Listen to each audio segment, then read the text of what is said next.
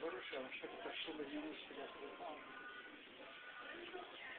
Не Там окно.